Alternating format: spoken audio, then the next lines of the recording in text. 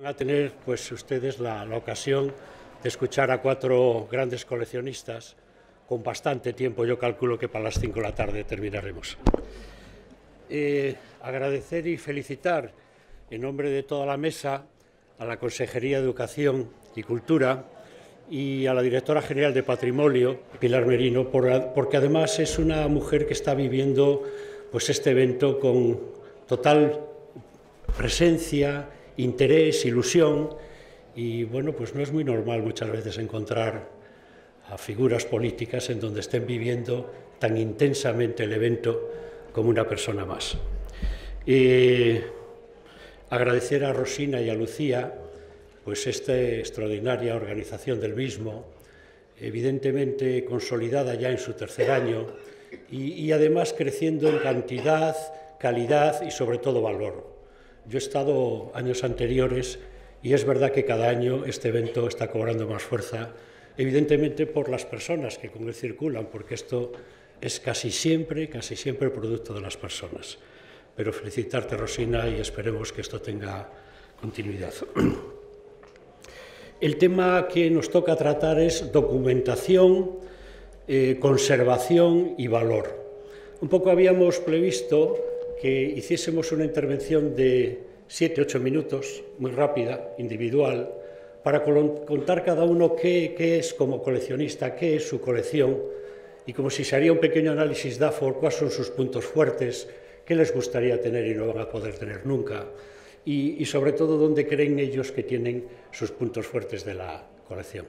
En una segunda parte, ya eh, en un tiempo que le queremos valorar del orden de unos 20 minutos, que nos contasen el tema de la jornada, que es qué ideas tienen sobre la documentación, qué documentación ellos suelen emplear normalmente, cómo suelen conservar las obras, cómo las tienen, cómo están en almacén, están tratadas termigráficamente, están en suficientes estados de embalaje y cuidado de la luz, etcétera, etcétera, para hablar últimamente del valor, pero no el valor desde el lado económico, aunque Rafael me comentaba, es que yo quiero contar algunas experiencias de subastas, por supuesto.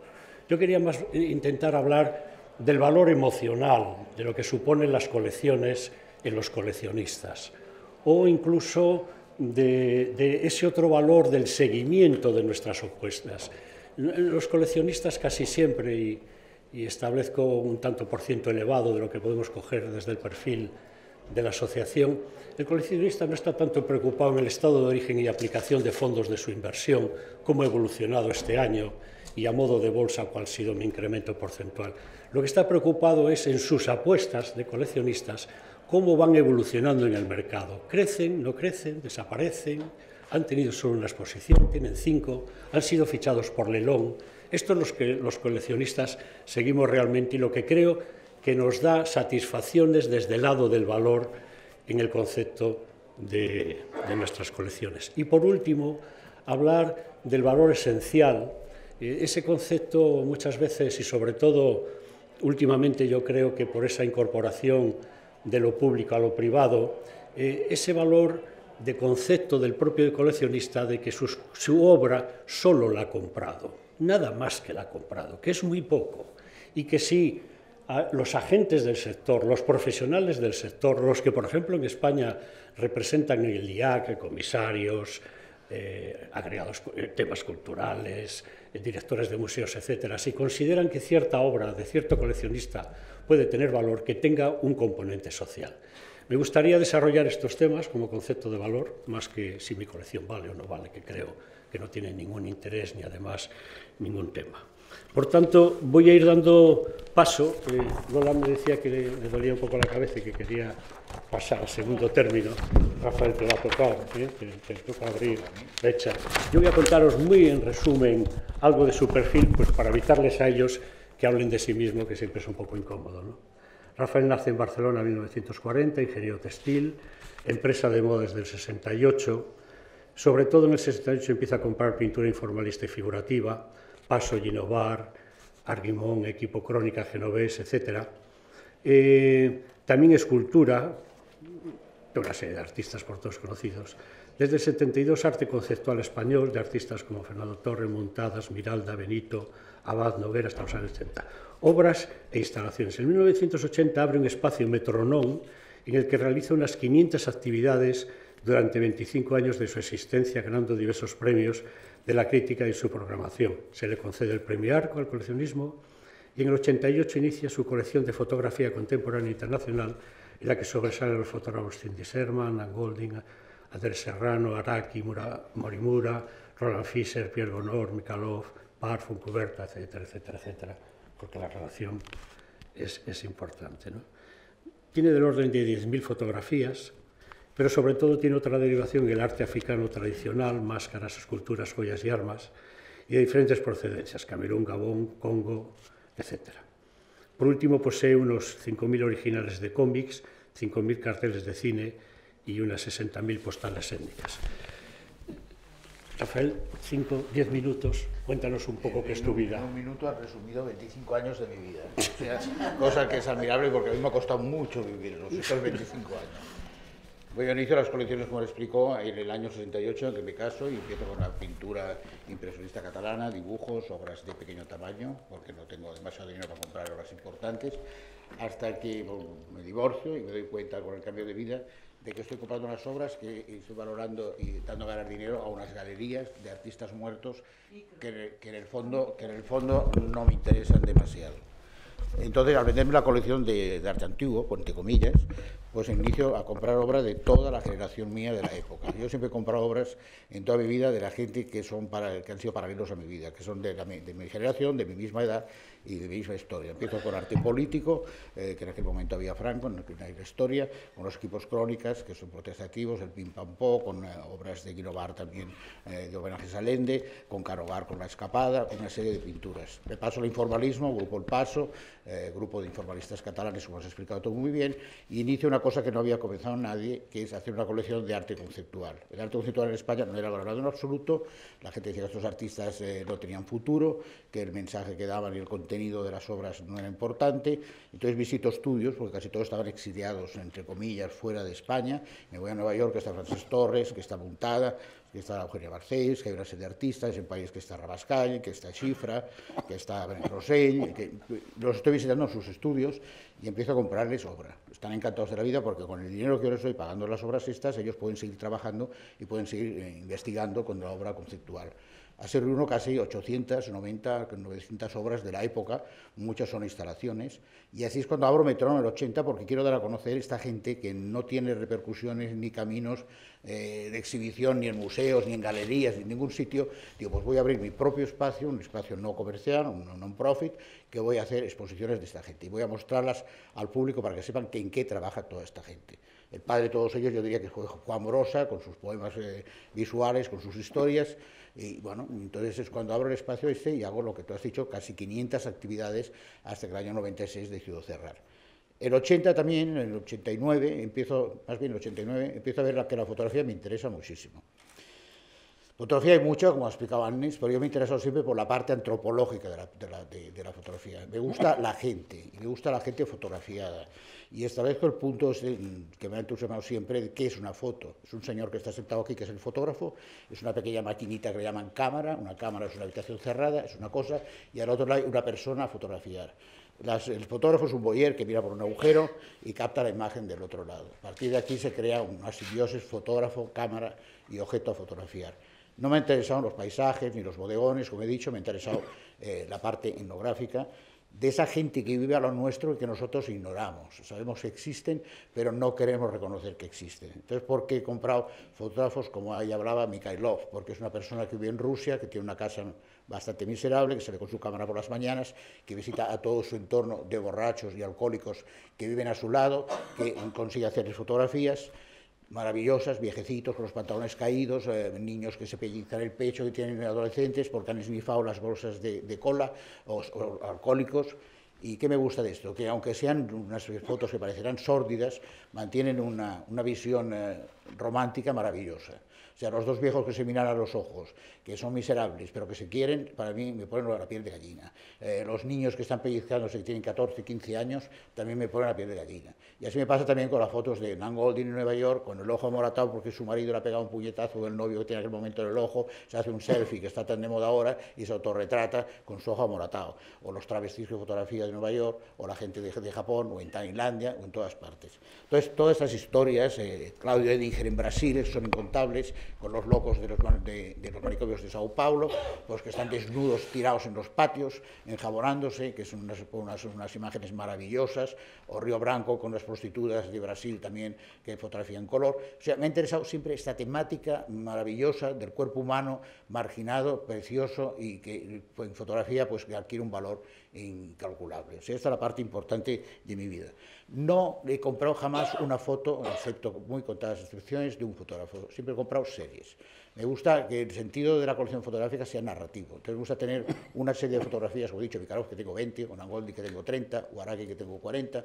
Me gustan series que puedan mostrar el trabajo de este artista de una manera mm, continua, que se pueda hacer una lectura de su trabajo. Una sola foto no representativa del trabajo de un artista. Una serie de fotos juntas, de una misma serie, de una misma época, sí que son representativas del trabajo del artista. Y esto es una de las cosas que a mí me ha interesado más. A partir de una obra que, que compré de Tacita Dean, que se llama Flow, que era una obra maravillosa, que ella compró fotografías en los mercadillos flea markets de Nueva York, las volvió a fotografiar y con toda esta historia de fotos, después enmarcadas en las 25 fotografías, explicó la historia de una familia ficticia. Entonces, los trabajos de Nangoldi y de, de Tacita Dean siempre se refieren a esto, a crear un libro con una historia sobre un tema que no existe, un tema que se ha inventado ella. Las obras de Tacitadín pues, son maravillosas. Hay dos viejecitos que dicen que son sus abuelos en el parque de Nueva York el año 1915. Hay unos niños que juegan en el Rockefeller Center patinando, que dice que son sus nietos que están patinando el año 1982. Con toda esta historia crea una historia maravillosa que no es verdad. A partir de aquí he hecho una cosa curiosa, que es comprar casi 60.000 fotografías de mercadillos de todo el mundo. He estado en Rusia comprando fotografías, he estado en Estados Unidos comprando fotografías, en China, en la India, todas partes, por España, por todos los sitios. Esto lo digo para los coleccionistas de fotografía, que después hablaremos del valor de mercado, de que se puede comprar fotos por un euro, por cinco euros, por diez euros, maravillosas, que no se sabe de quién son, pero que eso no importa. En, sí son fotografías y explican algo. Que, con esto que he hecho las he clasificado. Tengo clasificadas por niños con caballitos de cartón, niños con aros, niños con muñecas, eh, bodas, eh, gente que va al campo y está comiendo y está sentados en la hierba, eh, gente que viaja, eh, gente que está en la playa, gente que hace deportes. O sea, tengo una clasificación de 60.000 fotos inéditas y, y totalmente desconocidos los fotógrafos, pero que sí explican unas historias maravillosas, que son muy importantes. Después, como él dice, he coleccionado postales, porque las postales etnográficas de los años 1905, 1915, 1920 eran el único documento fotográfico que existía de la época. No se editaban casi libros, los fotógrafos no producían obras muy pocas, hay gente muy famosa que, sí que ha hecho unas fotografías sobre todo de paisajes y de elementos de fuera, pero la postal, que yo tengo postales de China con gente que están decapitando la cabeza, que había el fotógrafo macabro que hacía la foto, o de la India con los elefantes, o, de, o del mundo de, del opio en China y en Vietnam, todas estas fotografías para mí, porque son postales, son una maravilla. Estas tengo unas 60.000, también clasificadas por etnias, por países, por comunidades, por historias y por temáticas. Entonces, esto para mí son, son colecciones que son baratas y que están dentro del mundo, entre comillas, de la fotografía y que son muy explícitas y muy explicativas de qué es una foto, de qué es el mundo de la fotografía y qué es la imagen fotográfica. Esto para mí siempre ha sido verdaderamente muy importante. Después hablaremos del valor de las fotos, porque me ponen bastante nervioso.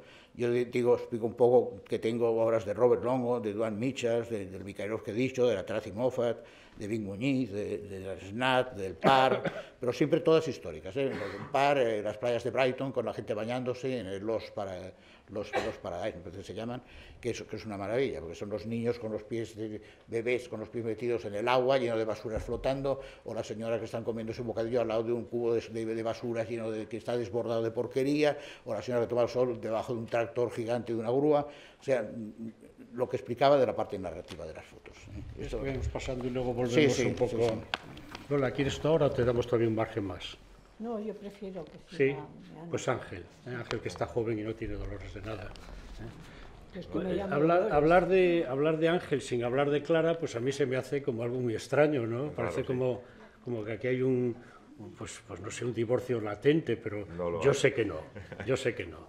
Clara no ha podido estar con nosotros. No ha tenido tanta suerte, Clara. Exacto. Eh, Ángel es socio fundador de 9915. Los que gestionamos 9915, tener a Ángel al lado es un lujo, aunque esté en Berlín, pues porque nos da esa nueva visión de alguien que por lo menos respecto a nosotros ha renovado siete veces menos el carnet de identidad. ¿no? Entonces, claro, da esa otra visión más joven, más actual, más dinámica. Ángel escribe su currículo así y, yo le respeto. ¿no? Abrir ventanas y puertas para crecer, buscar lo que nos complementa es nuestro objetivo al adquirir cualquier pieza de arte. Convivir con ellas y que nos llenen, al acumularlas se ha convertido en una colección, aunque por definición no lo sería. El paso de mirar a comprar lo dimos hacia el año 2000 que desde entonces hemos seguido por este camino, a veces ingrato, pero siempre apasionante en una búsqueda constante que tiene significado en sí misma. Mirando el conjunto que hoy conforman unas 200 piezas, se puede ver líneas, tendencias, arquitectura, retratos de mujeres, reflejos y muchas ventanas, pero sobre todo se puede trazar la evolución de nuestra inquietud, de nuestra eh, identidad perdón, individual y como pareja. Doy fe, ¿eh? doy fe. Compramos a la vez a veces el descubrimiento el simultáneo, pero la mayor parte de las veces se adelanta uno de los dos y propone. Tenemos formas muy diferentes de ser y de mirar y somos complementarios entre nosotros y la colección. Nos interesa el arte de nuestra generación, lo que se produce mientras nosotros buscamos artistas en nuestro entorno más próximo como Sergio Prego, Alessandro Cesarco, Dora García, Santiago Sierra, Teresa Margolles, Irando Espíritu Santo, Melanie Smith, y otros entornos como Marilyn Minter, Fran Thiel, Lawrence Weiner, Cedric Wim Evans, Mark Manders, Marcel Dazma, Catherine Gross, Luis, etcétera, etcétera. Vivimos en Berlín y en Madrid. Nuestras profesiones, economista y abogado, están totalmente alejadas del mundo del arte. Mm, el año pasado lo vivimos aquí, este verano lo hemos vuelto a vivir en la Universidad Internacional Menéndez Pelayo explicándonos su proyecto, pero para gente que no lo pueda conocer, Recientemente hemos decidido avanzar por más caminos y hemos impulsado el Windows in Berlín, un proyecto sin ánimo de lucro para exhibir videoarte iberoamericano directamente en las calles de Berlín utilizando un viejo container de mercancías a modo de proyector.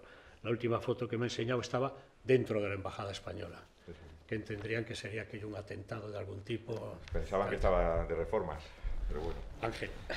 Bueno, buenas, buenos días a todos. Eh, muchas gracias por por tu cariñoso eh, introducción. Eh, un poco siguiendo eh, la, línea de, Rafael, mm, para nosotros, la, voy a hablar en plural, para nosotros la fotografía realmente no la entendemos desde el mismo punto de vista que, Rafael. Para nosotros la fotografía es un soporte más, es, es, un soporte que, que es el que utiliza el, artista y que necesita, que entiende eh, necesario para expresar mejor lo que él quiere contar. Eh, lo que a nosotros, eh, nuestra colección, que tiene unas 250 piezas, más o menos el 40% son fotografías, y la parte que nos, que nos atrae especialmente de la fotografía es que es un soporte de nuestro tiempo.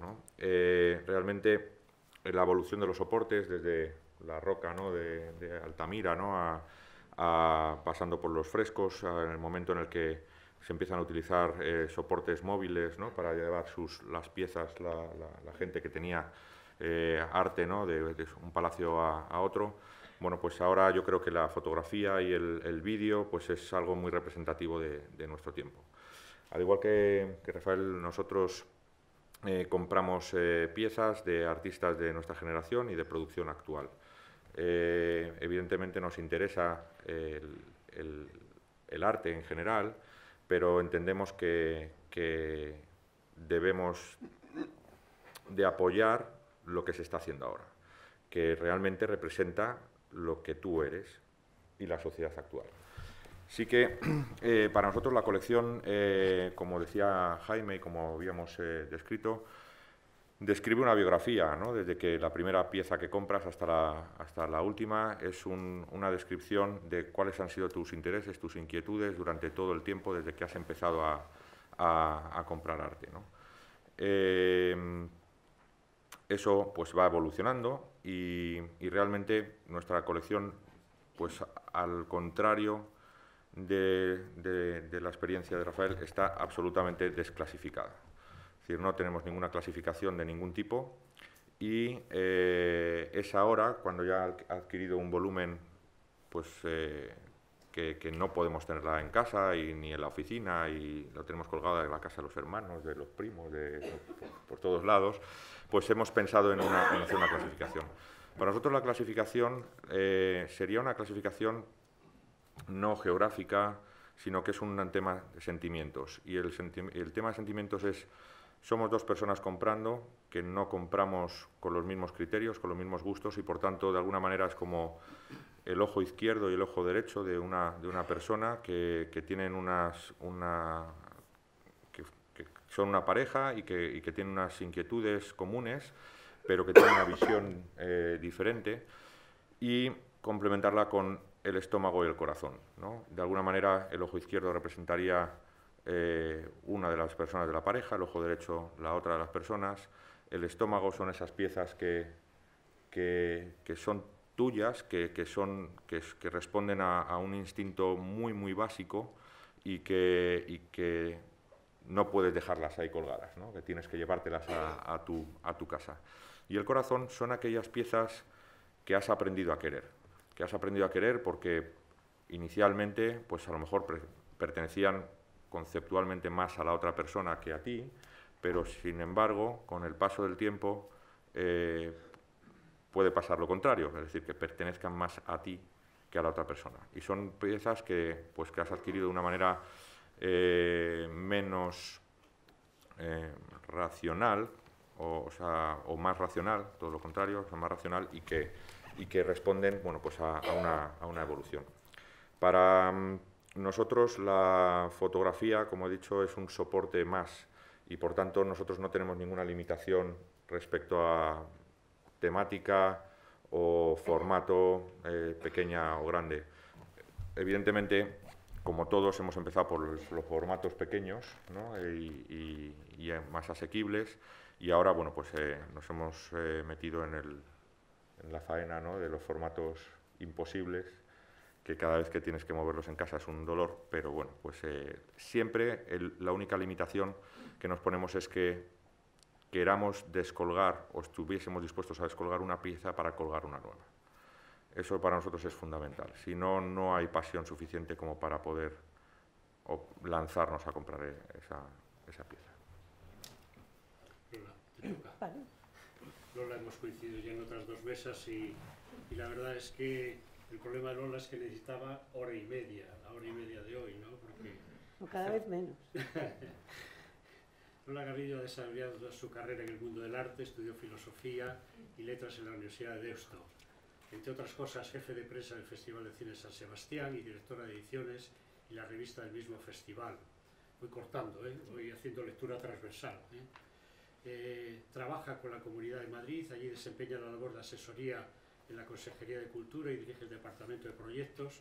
Comienza su especialidad en fotografía y arte contemporáneo pasa a dirigir la sala de exposiciones de Canal Segunda y posteriormente se convierte en directora de proyectos especiales de la Fundación Banesto. Esto sí que lo quiero leer porque creo que es interesante. Entre sus actividades está la de seleccionar eh, por el Banesto, el seleccionar adquisiciones eh, que forman la colección de la Fundación. Esta será entregada como dación para el Banesto al Museo Nacional de Reina Sofía. Se trata de la primera vez que una colección en su totalidad es vendida a un museo estatal y bajo la forma de dación. Su valor económico hoy en día es incalculable. Desde 2001 al 2007 ostenta el cargo de directora artística de la Fundación Fotocolectaria, ya se ha comentado aquí, y en 2004 pone en marcha la revista Fundación Coleccionar Art, que dirige personalmente eh, sobre temas de coleccionismo. Como coleccionista ha reunido su propia colección de fotografía, lo visible y lo latente. Eh, tiene también otro ámbito de la misma en adquisiciones que componen Sus ojos le delatan, actual muestra que se inauguró en Barcelona en octubre del 2006 se encuentra en la Fundación Municipal, de Cultura de Valladolid. Como crítica es colaboradora sido de diversos medios de prensa. Durante tres años escribió en el suplemento periódico El Mundo y en el Semanal y también durante tres años ha desarrollado la sección llamada Fotomanía. Por último, tiene escrito un libro sobre arte, inversión y mercado titulado El trilateral del gusto, la, trilateral del gusto, libro que espera ser publicado digitalmente para poderse descargar gratis. Buenos días. Bueno, un poco. Quería decir que ese libro ya está obsoleto porque lo llevo, está acabado hace cinco años y una vez que lo acabé no me interesó publicar porque verdaderamente es un, un libro que es, tiene tantos datos económicos y tantos datos monetarios que echa para atrás a los del arte y tiene tantas cosas de arte que echa para atrás a los economistas. Eh, yo tengo una colección eh, de unas 800 obras, de las cuales puedo decir que 650 son equivocaciones Posiblemente uno no pueda decir nunca tengo 60.000 o tengo 50.000 hasta que no está seguro de que las tiene, porque ya solamente el contarlo te lleva media vida. Mi colección es una colección modesta, es una colección eh, autobiográfica, es una colección que está hecha de los nombres de los que yo aprendí a amar la fotografía. Yo cuando me compré la primera fotografía fue un Kertész, y cuando me compré la segunda fue un Stiglitz y cuando me compré la tercera fue un Steichen. Yo soy una persona moderna, conozco muy bien el arte contemporáneo, pero eh, esos nombres para mí eran los mitos, los iconos, eh, el semen de lo que era la fotografía total.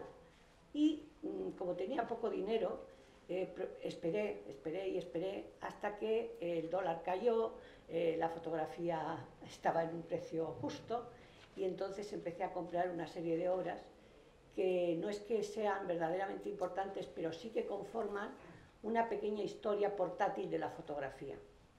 Esta colección, una parte de esta colección se ha inaugurado el día 12 en el Museo Pushkin de Moscú y la verdad estoy súper satisfecha porque fue una inauguración que yo no pensé nunca que iba a haber. Estaba comisariada por la, por la jefa de, de, los, de los comisarios del Pushkin, con una gran habilidad, había hecho un gabinete de coleccionista y había puesto, eh, había agrupado las obras dándoles una consistencia que para mí, vamos, fue emocionante. También este año expuse, este año estoy muy rusa, y expuse Gary Winogrand en el Museo de Art Media de Moscú y expuse también en el Westlich de Viena. Eh, esta colección me está dando más satisfacciones que las que yo nunca esperé pero verdaderamente yo a lo largo del tiempo he llegado a tener una distancia con la colección. En el momento en que vi que para hacer la colección que yo quería se necesitaba tener una economía mucho más saneada de la que yo podía tener. Entonces ahí eh, hubo un momento en que paré, porque para comprar cosas que no funcionasen dentro de las que yo consideraba que eran las mejores, pensaba que mm, ya no me podía ir por otros, por otros derroteros.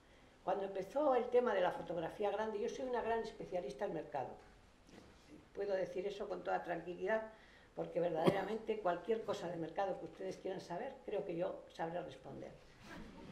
Entonces, eh, cuando me empecé a preocupar eh, por, cómo iba el mercado, cómo se manejaban eh, las, las subidas de los artistas, cómo a un artista no se le dejaba caer porque tenía cuidadores de bolsa, igual que la bolsa, cuando se empezó a salir, o sea, los índices del mercado del arte, igual que el Nikkei, igual que el Dow Jones, igual que el IBEX, cuando salió el May Mouse, me preocupé de seguir ese índice, entonces vi que desgraciadamente, o sea, la, por ejemplo, si yo quería ya comprar el Steylich que yo creía que tenía que tener, ya no era posible.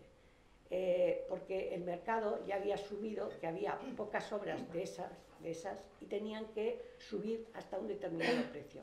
Indefectiblemente subían y además, dependiendo del horario que salían, subían. O sea que estaba todo tan planificado por estos matemáticos chinos, que son los que dirigen el mundo, porque ustedes no piensen que dirigen el mundo los economistas, dirigen los matemáticos y casi todos son chinos. Entonces, no solo el mundo del arte, sino el mundo económico. Entonces ya me desilusioné un poco y empecé a pensar, voy a guardar esto, voy, voy a comprar algunas cosas modernas que puedo comprar, que me atraen, pero me cansé pronto, porque los formatos eran tan grandes que yo no tenía las casas que tienen los coleccionistas americanos para ponerlas. Para coleccionar fotografía moderna, eh, lo mejor es alquilar un piso de 2.000 metros, colocarlas y dar una cena. Esto es fundamental porque todo coleccionista es narcisista y entonces eh, vive para, para que otros vean lo que a él le gusta y no solo lo que a él le gusta, sino mira lo que tengo, mira lo que soy. Entonces es fundamental para cualquiera que se precie comprar arte contemporáneo tener unos buenos almacenes o si no, un gran sitio para ir cambiando la colección e ir presentándola.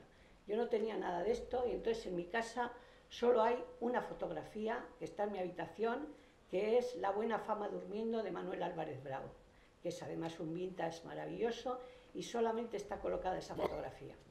Eh, mi colección eh, trata de la historia, como os he dicho, hace un poco la historia portátil de la fotografía, o sea, esa que se puede llevar en la maleta casi.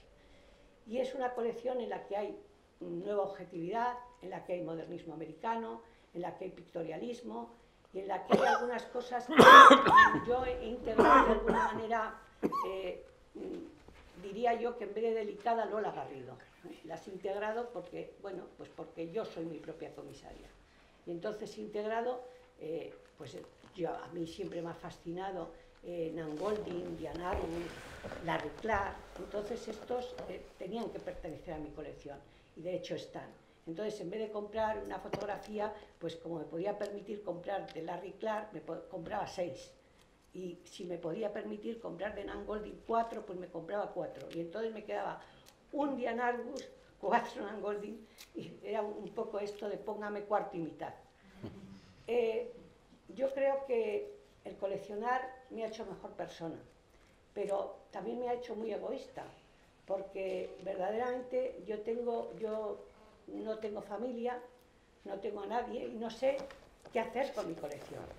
Entonces todo el mundo me dice, eh, dónala a una fundación, déjala a un museo. Jamás, jamás, porque conozco lo que es España, he visto, he visto cómo se tratan las colecciones y espero que con los años, yo ya tengo bastantes, con lo que no voy a ver muchas mejoras.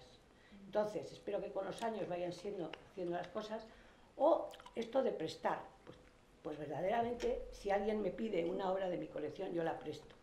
Pero también hay que tener mucho cuidado con estas cosas de los préstamos, porque eh, uno empieza a prestar una colección y termina en una casa de cultura de, del Algarve, con perdón, que no tiene focos y que de repente llegas y no está porque la humedad la, Bueno, hay cosas de estas que no se saben. Entonces, ¿qué se hace con una colección que me ha costado mm, toda mi fortuna, la poca que tenía? Yo vendí cuatro apartamentos en San Sebastián para comprar fotografía. Yo he trabajado siempre como una loca e incluso soy inversionista en bolsa. Con lo cual, todo lo que he ganado me he metido en la colección. Todo, absolutamente todo. Y he sido muy feliz comprando y no soy nada feliz vendiendo. He vendido en mi vida cuatro cosas cuando voy a venderlas, porque son unas que además ya las tengo superadas y no me gustan, lloro. Entonces no quiero vender. Entonces vamos a ver qué puedo hacer con todo esto, pero sí que les quiero decir que para coleccionar y coleccionar bien hay que invertir, hay que saber, hay que leer y hay que andar mucho. Y esta es mi, pequeña historia de mi colección.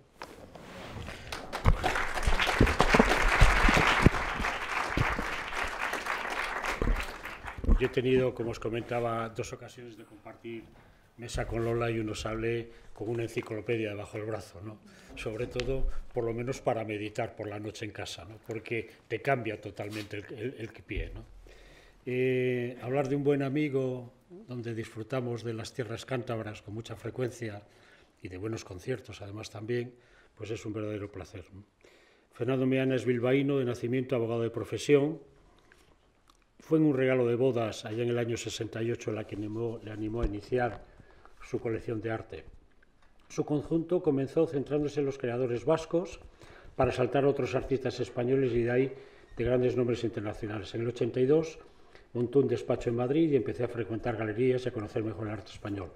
Me incorporé a los artistas de los 80, Sicilia, Barceló, Susana Solana, Miquel Navarro, Juan Muñoz, Cristina Iglesias, Emma Cobo, Campano, y a partir de ahí que la internalización y a partir de ahí la internacionalización.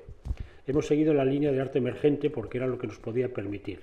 También por el placer de descubrir y ver su evolución a los artistas. Vi la primera exposición de Sharon Locat o de Gabriel Orozco en Nueva York, gente, gente con potencial y entonces muy asequibles. A finales de los 80, las ferias internacionales de arte contemporáneo, entre ellas Arco y Basilea, facilitaron la apertura de la colección Artistas Internacionales. Tuve ocasión de en Madrid convivir con Rosenberg, Richard Tuttle, Dan Flavin, etc. Voy avanzando un poco, hice a finales de los 80, evoluciona ya en la década siguiente con artistas españoles como Peneque, Pepe Espaliu, Fede Guzmán, Curro González.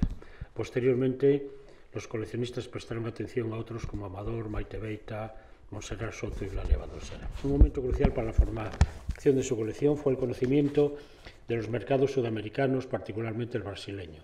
Brasil constituyó una explosión artística para la colección a mediados de los, 90. Con el protagonismo de artistas en su mayoría jóvenes, el que los años siguientes han dado a conocer con fuerza todo el mundo, como Adriana Verajao, Elasca Suárez, Vid Muniz, José Damasceno, México, por otros países, nombre atractivo artístico. También nombres como Orozco, Fernando Meana y su relación con gente de joven talentos como Damián Ortega o Carlos Amorles. Pasa, pasa, pasa, pasa el micrófono.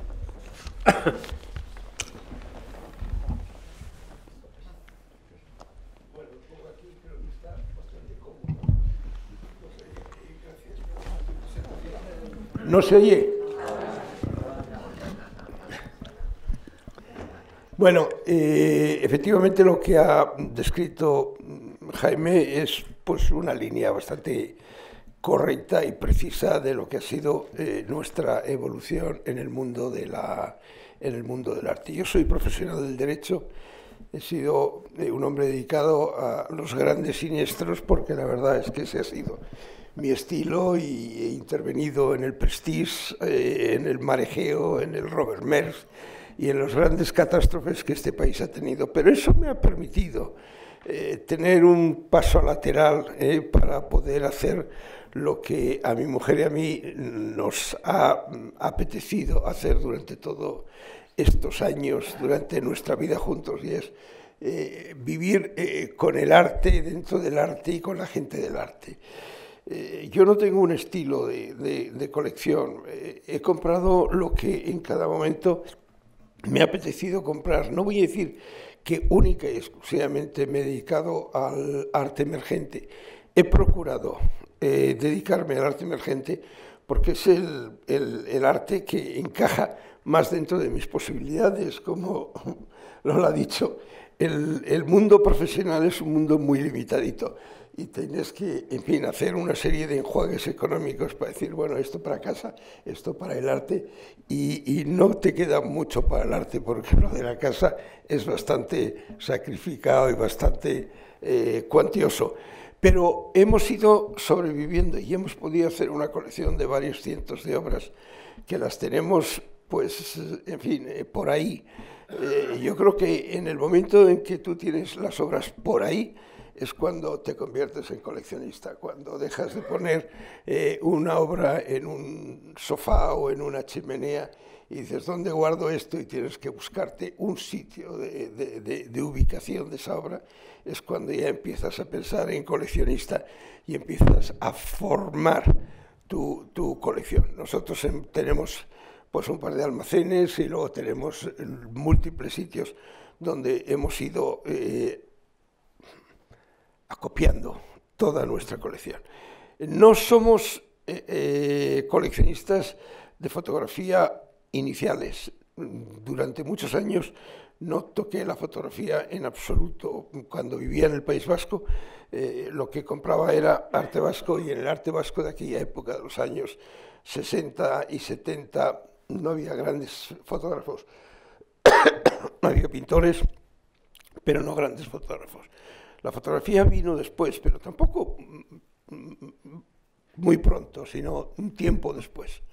Eh, tengo una anécdota muy curiosa y es que yo le ayudé a Pepe Cobo a montar una galería en Madrid porque él me pidió asesoramiento profesional para la compra de local y cuando puso su primera exposición, pues me dijo, bueno, me compras una obra del artista que estoy exponiendo. Y yo le dije, no, porque a mí la fotografía me parece un arte menor y no le compré ninguna obra. Al final él me regaló de la exposición, me regaló una obra, ¿eh? y no, hago, no, no, comento nombres, pero las fotografías que vendía Pepe Gobo en aquella exposición, unos años después, Cristi las vendía en, en cuántos era, pues en, en pues, eh, en un millón de euros y cosas por el estilo.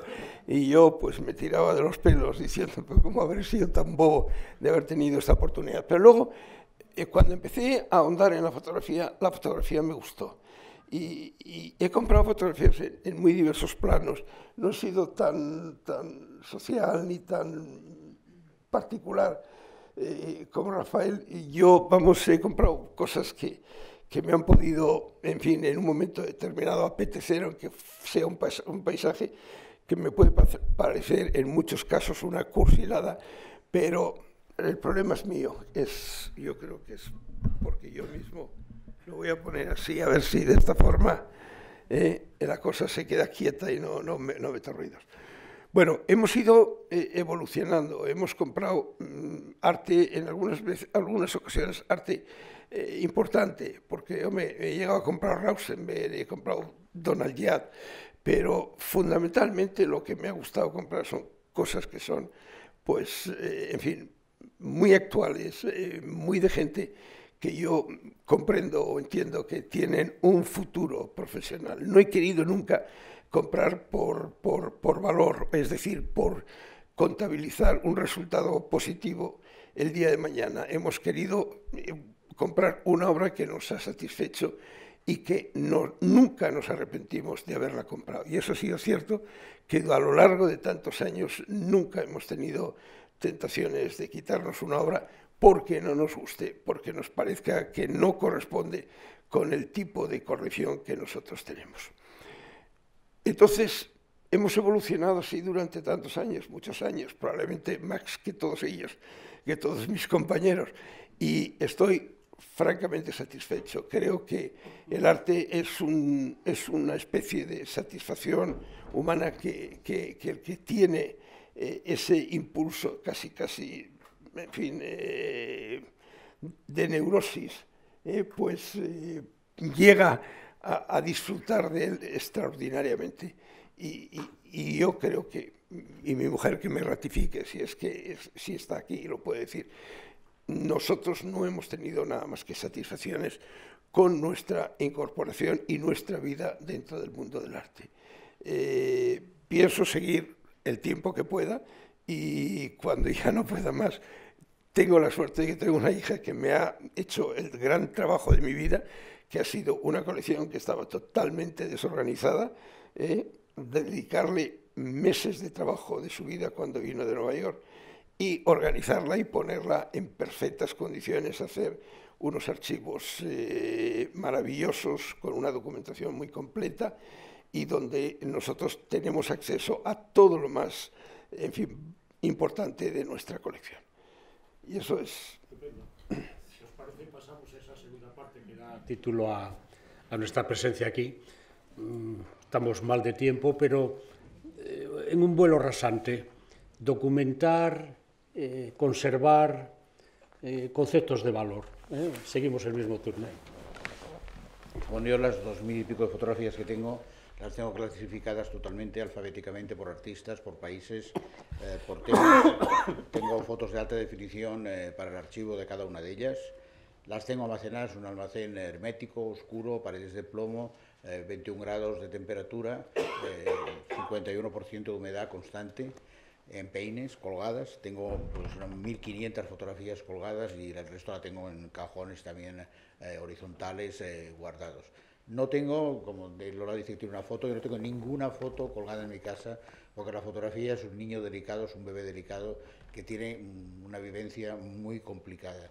Eh, si, no, si, no está, si estás puesta, eh, la fotografía es, como, es una persona como la edad que va absorbiendo lúmenes de lux y, y a un momento que ha absorbido tantos lúmenes de lux y desaparece. O sea que el problemática de la fotografía, he hecho préstamos y he hecho itinerancias de mi colección bastantes, es que no se la tratan bien, se queda destruida. Tuve una experiencia muy mala en, con Casa de Díaz en Madrid, que pusieron focos de 300 vatios a 15 centímetros de las fotos, me dejaron en agosto las ventanas abiertas o una serie de Zhang Wan eh, impresionante que se quemaron con el sol y entonces a partir de aquí ya es que no hago préstamos si las condiciones no son eh, hechas por especialistas en exponer fotografías. He dejado prestado fotos de Pierre Bonor, que está aquí, para el Centro Internacional Europeo de la Fotografía de París, pero vinieron con un camión térmico, con guantes blancos, tuvieron las obras en París depositadas en un almacén durante dos meses para aclimatizarlas a la temperatura y al, y al tiempo de París, y entonces sí que dejo fotos cuando las condiciones son de gente profesional de movimiento de obras de arte. En cuanto al mercado del arte, eh, eh, lo que dice ella que ha dejado de comprar por los precios, ya me pasa igual. Yo estoy comprando ahora eh, fotografía india, que hay fotógrafos maravillosos, eh, fotografía china, que he comprado muchísimo antes del boom de que haya subido esta fotografía, y estoy comprando países de fotografía de África, de países emergentes, porque los precios todavía no están dentro de las cuotas de las subastas de mercado. Las subastas como Christie's, Sotheby's o Phillips han creado un mercado ficticio, como pasó con las obras de Tammy Hirsch, con Sachi y lo que ha pasado con el grupo de LMV en París, eh, que no son, absorbibles, que para mí ya son falsos, que son absolutamente falsos. Tengo un ejemplo alucinante aquí de una obra de Cindy Sherman, de un, tiraje de 125 ejemplares, que ahora os diré qué pasa con esto. lo tenía este? Bueno, se han vendido los 125 ejemplares a 38.500 euros cada uno. Bueno, uno que salió en subasta. Si multiplicaron los 35.000 o 38.000, no lo recuerdo, por los 125, nos vamos a una cifra de 4 millones de euros por un tiraje de una foto de 25 por, por 40 centímetros o más pequeñita, en blanco y negro, que no es nada importante la obra de este artista y para mí parece demencial. Eh, si a esto le sumamos que los artistas han cogido la moda de que tiran, hacen un tiraje de 12, cuando lo agotan hacen un tiraje de 6 de un tamaño un poco más grande, cuando lo agotan, que tú lo sabes, hacen otro tiraje de 3 de otro tamaño más grande, estamos ya en situaciones, por ejemplo, de Thomas Struth, que vale 4 millones una fotografía de 5 ejemplares, en lo que decías tú, Gorski, que vale una fortuna, y a mí que una obra de fotográfica, le tengo todo el respeto del mundo, de que es una maravilla, lo que quieras, tenga un precio de los girasoles de Van Gogh, me parece como un absurdo absoluto. O sea, los precios de la fotografía son inasequibles en este momento para un coleccionista como yo, me imagino que como para Lola, me imagino como para ti, porque verdaderamente están absolutamente desfasados. Como está desfasados el arte contemporáneo, y lo digo, la culpa la tienen estas grandes subastas de arte manejadas por señores financieros como Sachi, como Newell, toda esta gente que se dedican a promocionar sus obras y hacer un negocio de bolsa. Es como el IBEX en, en fotografía, y esto para mí es inadmisible. Esto es lo que creo que está pasando en este momento. ¿eh? Gracias. Ángel. Bueno, eh, coincido plenamente con tus comentarios respecto a, al valor de, de la... No, pero no creo que sea algo solamente que se ciña a la fotografía. No, creo que es en- con con a mí, eh, en, en con- moda. en concreto, eh, los catálogos de las últimas subastas de, de Philips, de, de Christie's o de Sotheby's, el 90% de las obras han sido producidas en el 2013 o 2014. Sí, sí. Creo que es bastante elocuente, ¿no? De si alguien está pensando en revender para ganar dinero, ¿no? O sea, decir, ¿qué es lo que hay detrás, ¿no? Es, el, es, la, es la pregunta del, del- del millón. Bueno, mm, la verdad es que respecto a, para hablar de valor, lo que planteaba un poco eh, Jaime, eh, yo me refiero un poco a, a una frase de Machado, ¿no? Que solamente los necios confunden valor y precio. Y para mí eso es un- una frase que, con la que me identifico. Para, eh, una vez que nosotros, yo me identifico totalmente con, para nosotros eh, ahora mismo la, fotografía en los precios eh, actuales pues son absolutamente inasequibles. Eh, para nosotros, yo comparo, lo importante es el valor de lo que te aporta a ti. ¿No? ¿Qué es lo que te dice esa pieza? ¿no? Eh, la pieza, para nosotros entendemos que la completas tú y es tu emoción, la emoción que a ti te genere. Y eso es, pones precio a tu deseo, si te compensa o no te compensa. Eh, nosotros comparamos eh, el, el- valor de la pieza o la pieza en sí a un viaje, ¿no? Un viaje, un viaje, un crucero, un viaje a cualquier sitio, pagas un dinero y cuando llegas a casa de vuelta eh, tienes los recuerdos. Pues aquí es lo mismo, es decir, el recuerdo lo que pasa es que tienes la ventaja de tenerlo colgado en, en tu casa y poder disfrutarlo, que te aporte todos los días y que todos los días puedas tener algo, eh, algo que te, que te mueva y que te, y que te, que te emocione. Pero lo que es el, el valor económico nunca ha sido algo importante en, nuestra, en nuestra colección. Para nosotros, evidentemente, el valor económico es lo que tú puedas comprar dentro de tu economía, maltrecha economía muchas veces, y, pero, pero realmente es, es ponerle precio a tu emoción. Y salirte, bajo mi punto de vista, salirte de ahí creo que es una equivocación porque eh, estamos entras luego en, en, una dinámica, como lo que has comentado, ¿no? de, un mercado que, que, que, está intervenido realmente, ¿no? que es un mercado muy manejado por, por, por grandes manos y que nunca vas a poder entender realmente las razones de, de, ello. Eh, sí que quería eh, hacer una pequeña reflexión, que es que, aunque hemos dicho que la fotografía ahora mismo es cara o es inasequible, estamos hablando también de cierto tipo de fotografías.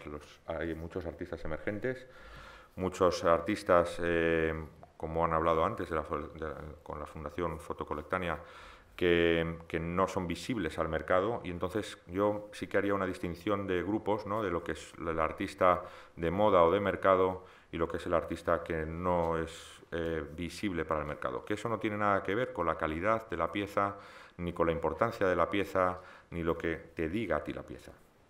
Es un poco la... Yo casi voy a, voy a acabar muy, muy rápido porque si empiezo podría hablar tres horas sobre el tema del valor. Primero, eh, las subastas, o sea, es como el parqué de la bolsa. O sea, porque un día sube BBVA y otro día cae 10 y otro día sube 5. O sea, la subasta es el parqué del arte. Entonces, las subastas, por supuesto, tienen unos grupos de interés que están detrás, que son, bueno, pues los grandes coleccionistas, las grandes galerías e incluso los grandes directores de museos.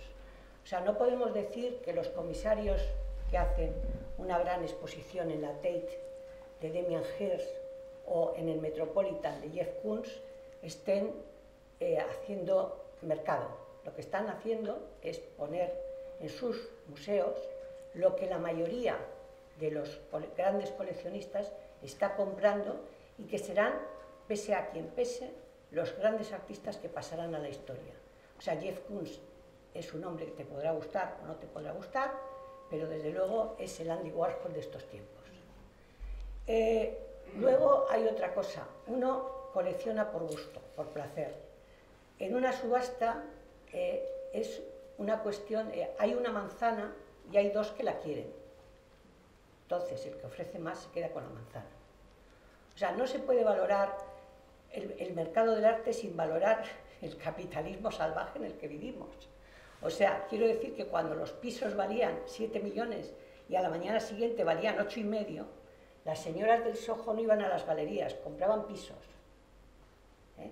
Quiero decir que además de todo esto, existe lo que es el arte de verdad y existe lo que es el coleccionista de arte que de verdad siente, que de verdad piensa y que de verdad cree en lo que está haciendo. Pero fuera de eso, a mí no me importaría ser uno de los grandes coleccionistas del mundo y no me importaría nada ser Pinol, pero en absoluto, en absoluto, vamos. Y las piezas que tienen es que verdaderamente me fascinan. Lo que pasa es que, bueno, yo no me importa no, no ser Pinol porque puedo ir y las veo. Y de hecho yo todos los años voy a Venecia y veo las piezas y me alegro muchísimo de que ese señor tenga todo el dinero que tiene y además que esté metido en Christie's y que además las suba porque los que compran son como él, no yo. O sea, quiero decir que esto del mercado del arte tiene tantas variaciones. ¿Por qué suben los precios? Suben los precios. Porque las grandes galerías son como cuadras de caballos, tienen a los mejores artistas. ¿eh? Y son los que ganan la carrera. ¿eh?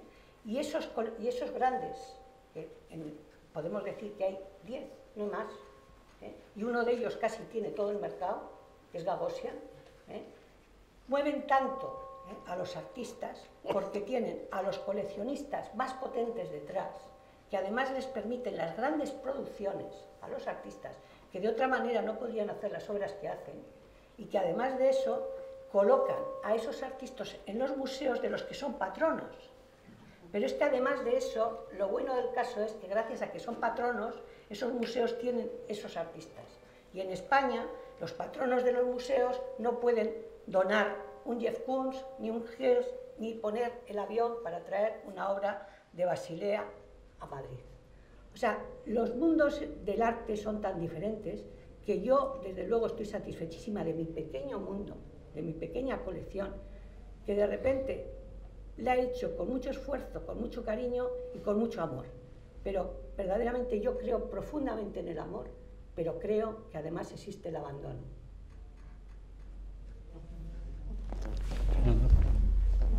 Bueno, eh, voy a resumir, creo que, está, creo que está todo dicho. Sí.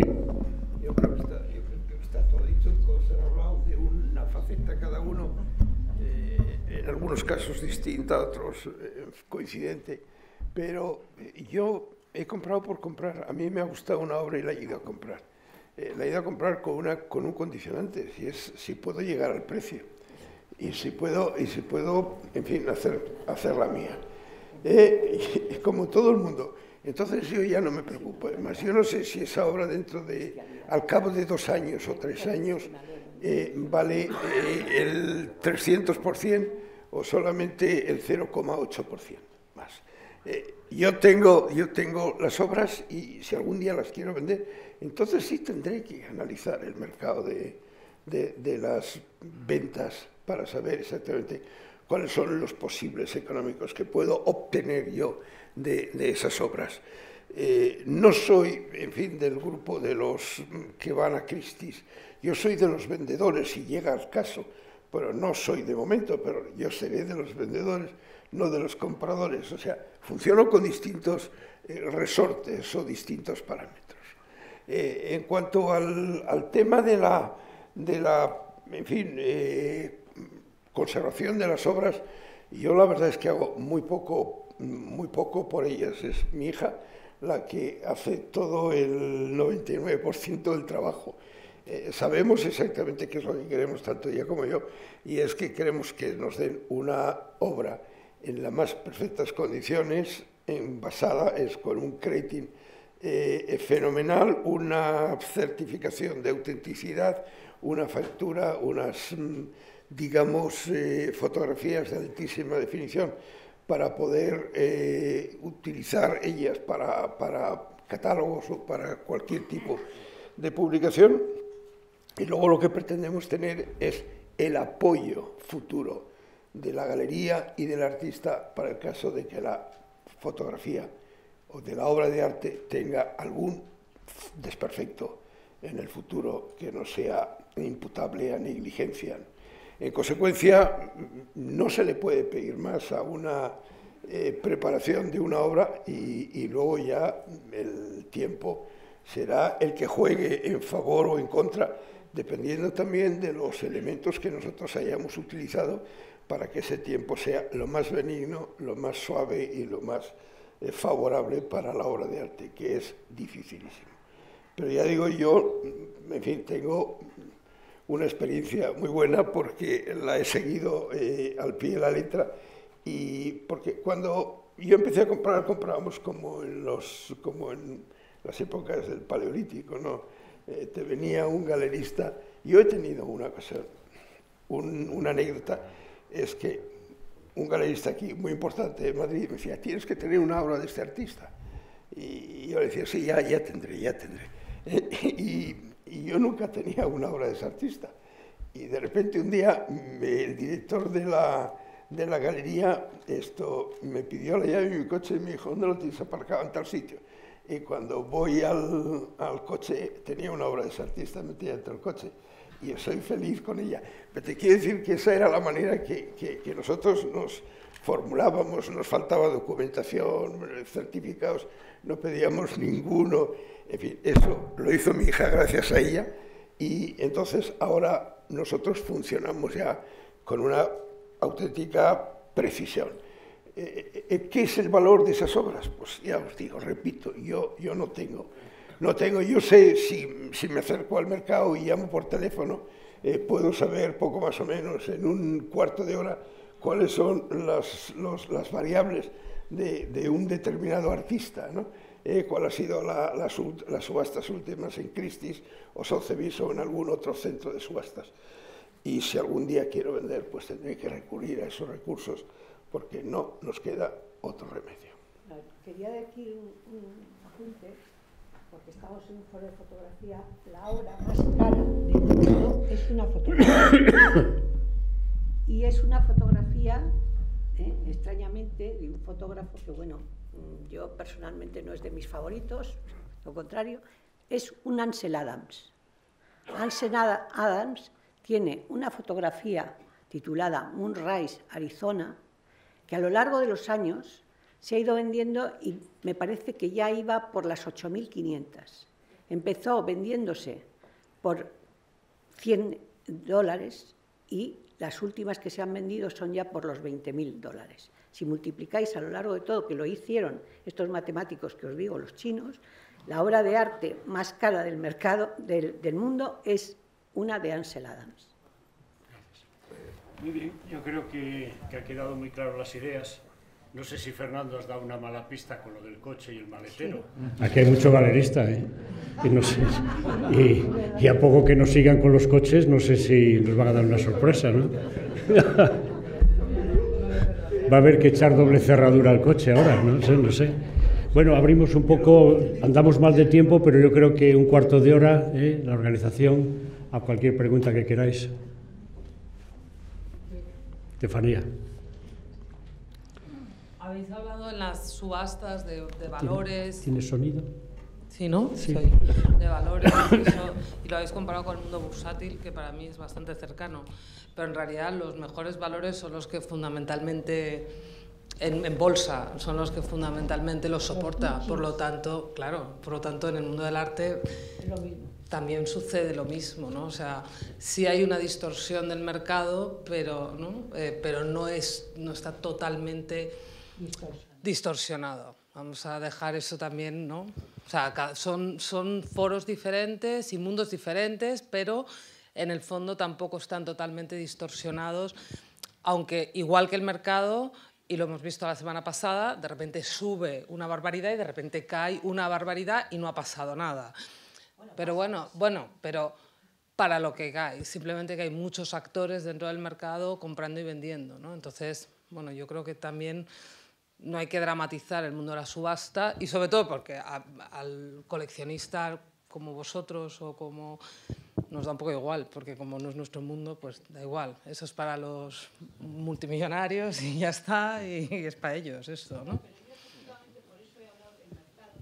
Que bueno que funciona como funciona un mercado bursátil, porque además de que tiene, tiene lo que se llaman cuidadores de mercado. O sea que cuando Repsol cae no van a dejar caer más del 7%. No sé cuánto es, pero me parece que es el 15, ¿no? Entonces no dejan. Entonces inmediatamente... Pero cae un 60%. Eh, sí, porque no tiene cuidadores de Por mercado. eso, entonces- entonces, eh, los grandes artistas tienen cuidadores de mercado y en el momento en que caiga por debajo de las expectativas de su galería, el galerista tiene dinero de los coleccionistas y de inversores y de bancos para pujar por él y subirlo.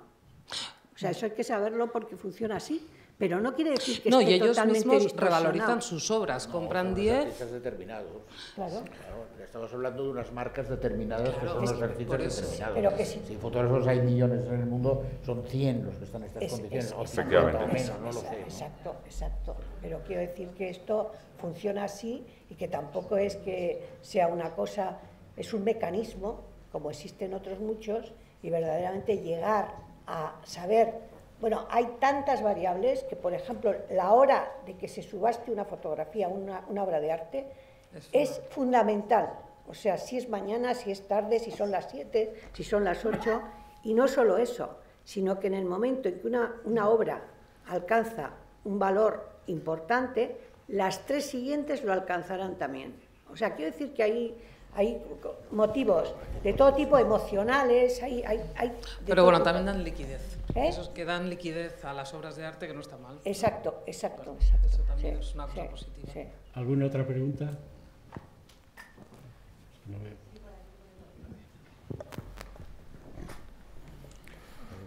800 compradores.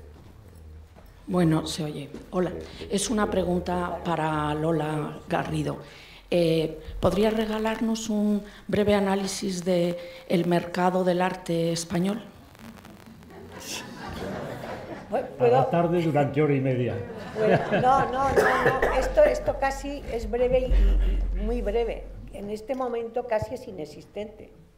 O sea, ha habido unos momentos y ha habido subastas en, en España que han salido bien y de repente, bueno, pues la crisis ha, ha, pillado a todos y ha pillado al mundo del arte. Entonces, en España ya no hay una subasta importante.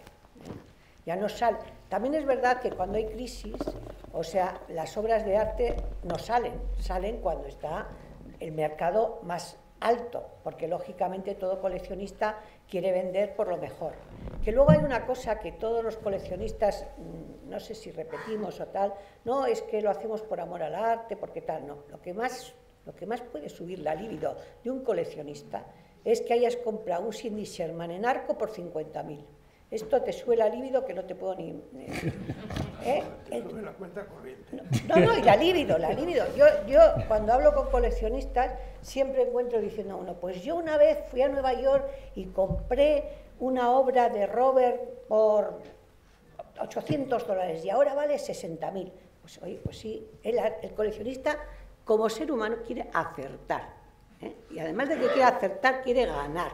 Y además de que quiere ganar, quiere ¿eh? quiere seguir disfrutando de las dos cosas, de lo que es el disfrute del arte y ganar. O sea, somos egoístas. Bueno, no, deja de refrendar. No, no, Hablábamos de... estábamos hablando de, la venta del mercado español y yo no tengo experiencias, eh, nada más que pequeños pinceladas. Eh, que por unas circunstancias muy especiales he tenido que vivir. ¿no?